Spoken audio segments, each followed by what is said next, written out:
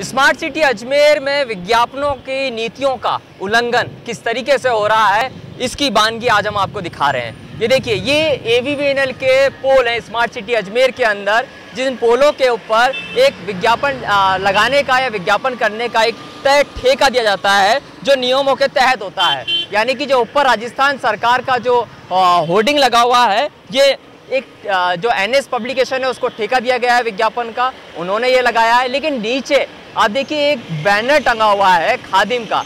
ये बैनर इस पूरी रोड ये वैशाली की तरफ़ जो रोड है, वैशाली नगर अजमेर की ये रोड है, इस पूरी की पूरी रोड पर लगातार इस तरीके के बैनर एवीवेनल के पोल्स के ऊपर लगे हुए हैं, जो कि नियमों की पूरी तरीके से अवहेलना करते हैं। नियमों का एक एक तरीके से आप एक के मापदंड होते हैं विज्ञापन करने के। और विज्ञापन के मापदंडों का उल्लंघन, ये देखिए किस तरीके से हो रहा है।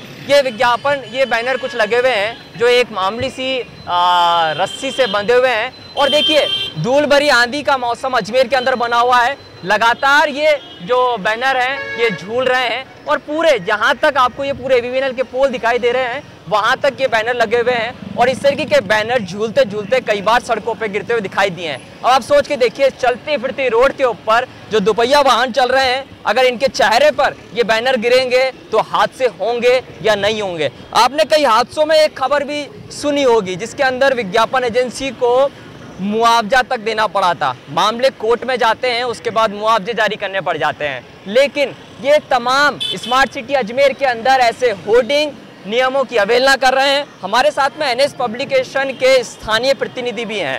जी, ये जो विज्ञापन लगे हुए हैं नीचे, क्या ये आपके माध्यम से लगे हुए हैं और ये क्या नियमों के तहत लगे हुए हैं? ये कोई नियमों के तहत नहीं लगे हुए हैं और नहीं हमारे कोई, हमारे तरफ़ से इनको परमिशन दी गई है। ये आए दिन अनुतरी लगे रहते हैं, इसके खिलाफ नहीं तो कानूनी कार्रवाई होती है, नहीं प्रशासन इसके खिलाफ कोई कार्रवाई कर रहा है। ये आए दिन लगते रहते हैं, इसमें हमारी तरफ़ एन एस पब्लिसिटी की तरफ़ से कोई ऑर्डर नहीं दिया गया है। हम भी खुद भी परेशान है, इससे अनुतरी लगने से। वो ऊपर का जो एड लग रहा है तो वो हमारी कंपनी की तरफ़ से लगा हुआ है, जल जो गवर्नमेंट का है, और बिजली के पोल का टेंडर एकमात्र कंपनी हमारी एन एस पब्लिसिटी के पास में है ये पूरा, जिसका पूरा अजमेर ज़िले का काम मैं देख रहा हूँ। मेरा नाम संदीप लखावत। ये एनएस पब्लिकेशन के स्थानीय प्रतिनिधि हैं और इस ये एल के तमाम पोलों पोल्स का जो ठेका दिया गया है विज्ञापन का, वो एनएस पब्लिकेशन के पास में है। ऊपर राजस्थान सरकार के विज्ञापन लगे हुए हैं। ये सारे के सारे विज्ञापन ऑथराइज हैं, लेकिन इसके नीचे खादिम जो एक शोरूम है, वो खादिम शोरूम के बैनर लगे हुए हैं, ये बैनर पूरी तरीके से अवैध हैं। इनके ऊपर खास तौर पर सबसे बड़ी शिकायत पब्लिकेशन हाउस की और स्थानीय लोगों की भी ये रही है। नगर निगम प्रशासन को भी हम लगातार इसके बारे में जानकारी देते रहे लेकिन ऐसे अवैध अतिक्रमण करने वाले विज्ञापनों के ऊपर कोई कार्रवाई अभी तक प्रशासन द्वारा नहीं की गई है। उम्मीद है इस खबर के बाद प्रशासन जल्द से जल्द कोई कार्रवाई करेगा। कैमरा पर्सन राजवीर के साथ सुशील पाल एनपीटीवी इंडिया अजमेर। नहीं एक्चुअली में हम लोग तो बाहर से हैं। देखिए तो हम लोग तो जो भी काम कराते हैं, किसी भी सिटी में हम लोग स्टोर खोलते हैं तो हम लोग एजेंसी के थ्रू काम कराते हैं। तो आपका यहाँ पे जो है राज जो का एडवर्टाइजमेंट था, अजमेर का, उसको हम लोगों ने यहाँ पे जो है दिया था इनको काम। अब उनके बाद उन्होंने तो बोला, मेरे पास ये एरिया है, वो एरिया है बट लीगल है कि इलीगल है, इसके बारे में मेरे को जानकारी नहीं है।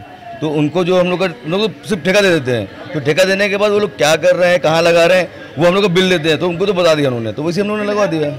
बिल तो बाद में देगा जब काम हो जाएगा। अब मेरा नाम है शबी। कुछ ऐसे केसेस हमारे ध्यान में आए थे और हमने रेफ़र भी किए थे म्यूनिसिपल कॉरपोरेशन को। उनके द्वारा कुछ कार्रवाई डिफेसमेंट एक्ट के तहत भी की गई है। इसमें गाइडलाइंस काफ़ी स्ट्रिक्ट हैं गवर्नमेंट की, कि आप डिफेस नहीं कर सकते पब्लिक प्रॉपर्टी को। और यदि और भी कोई ऐसे केसेस जैसे आज आप जानकारी में दे रहे हैं तो हम नगर निगम के ध्यान में लाएँगे और उनको डायरेक्शंस देंगे कि वो कार्रवाई करें।